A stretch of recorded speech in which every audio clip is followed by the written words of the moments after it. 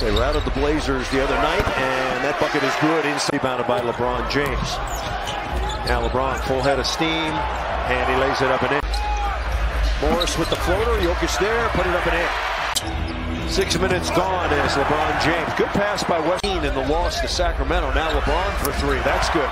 Well, the Nuggets with a seven-point lead. That's the largest of the night. Now LeBron James right by Dwight Howard. Jokic has the matchup now. Jokic in the lane, around the corner, left. Fifth rebound. Gordon on the shake, and there's another. Now Jokic trying to get the third foul on Howard. He's got him. Now LeBron picked up by Jokic inside basket count. Now Ariza guarding Jokic and inside. This third quarter looks a lot like some of the 17 third quarters that we've seen pre